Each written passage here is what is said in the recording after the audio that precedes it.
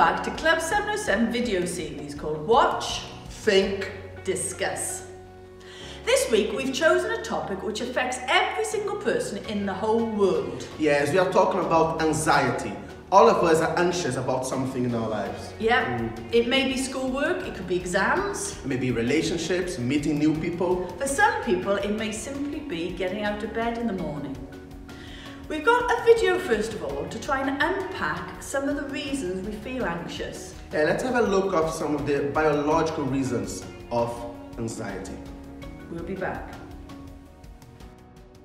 You know what anxiety feels like. We all do. Everyone experiences anxiety in some way or another. It's something that connects all of us together. Why we feel anxiety and what it really is, that may surprise you. Without anxiety, we'd all be in serious trouble.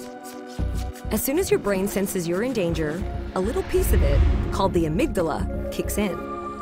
It gets your body ready to react. That could mean fight, run away, or shut down. It's called the fight, flight, or freeze response. This reaction goes back millions of years to our distant animal ancestors. Animals whose amygdalae were more sensitive to danger were more likely to stay alive and off the menu. Over millions of generations, this developed into the system we all know as anxiety.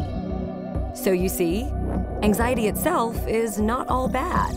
But when there's no immediate life or death threat, and your amygdala keeps telling your body that you're in danger, that's when anxiety becomes a problem. Your amygdala doesn't know the difference between getting eaten and public speaking or failing a test.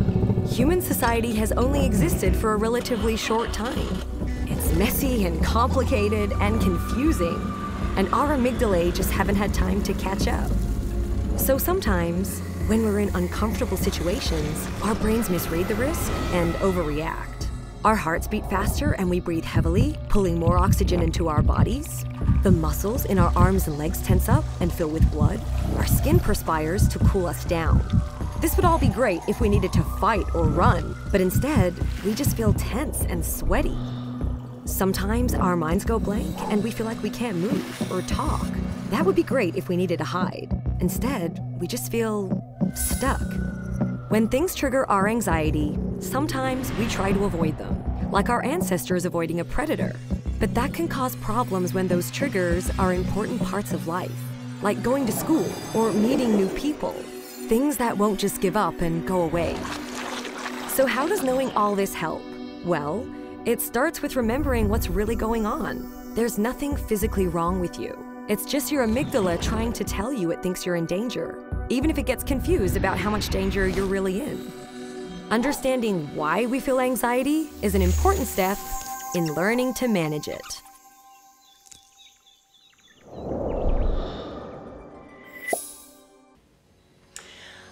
Found it very interesting how our brain makes us anxious on purpose. I know it's crazy to think that our brains ma- made us anxious to protect ourselves. I know. The problem comes when all of that nervous energy is, is, is there and we don't know what to do with it and we start to overthink. It can produce very strange physical reactions as well. Yeah, and some of the symptoms that you may feel, or we might feel, is that a bit sweating quite often. Uh, our heart starts to beat really, really fast. Some knots in our stomach. Uh, and in worst case scenario, can lead us to depression. It can. It can stop us meeting our friends. It can stop us eating well. I can remember a time when I had a wisdom tooth out and it was so bad that the dentist literally had to put his knee on my chest, I know. So every time now anybody even says the word wisdom tooth, I can feel myself getting anxious and I can avoid going to the dentist if I'm not careful.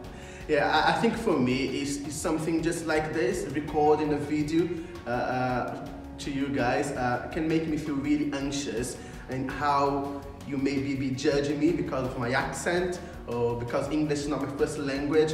So it can put me off sometimes, but I need to overcome that, don't I? Yeah, you're doing very well, Matt. Better than I can do in Portuguese. so, what we need to try and think of are ways and strategies of helping us when we do feel anxious, because we all will feel anxious. I've had a look at this another video, which is a short clip giving us five ways that can help us.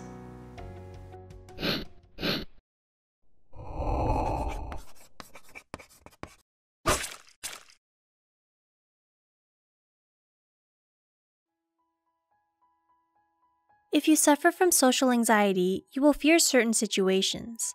This can vary from person to person. Some fear speaking in front of groups of people, some fear meeting new people, while others fear going to parties or other types of social events. In whichever situation your fear arises, you'll probably experience sweating, blushing, feeling your heart race, or other symptoms of anxiety. One of the primary symptoms you'll feel is thinking others will judge you or find you lacking in some way. Not to worry though, no matter what your symptoms are or where they hit you, there are things you can do on your own to deal with your social anxiety. Number 1. Deep muscle relaxation. Learning to physically relax is one of the best ways to combat anxiety. It is impossible to feel both relaxed and anxious. For deep muscle relaxation, you will tense, then relax the major muscle groups of your body, beginning with your feet and working your way towards your head and face. Number 2. Slow breathing. Controlling your breathing when you're anxious is another good way to deal with your emotions.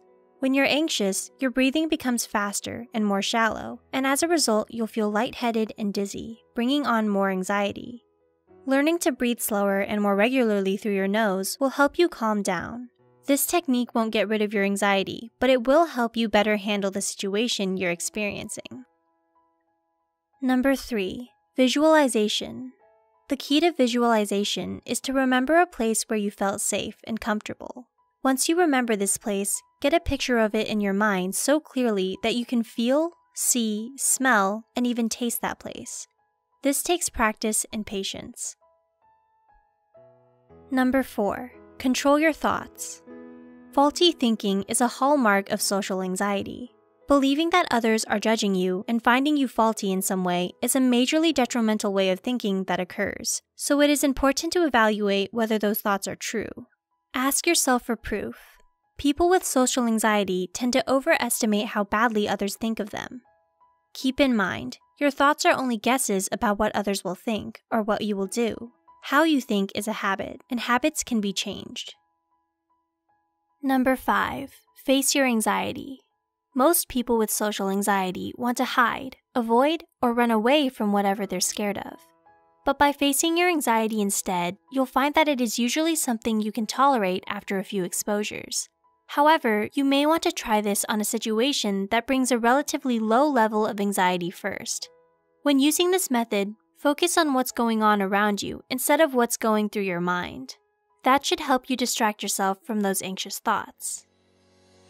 Hopefully, guys, you find helpful one of those five tips that we gave to you in your anxiety. Yeah, they're useful. I also had somebody say to me something very interesting the other day. They said anxious people are people who care.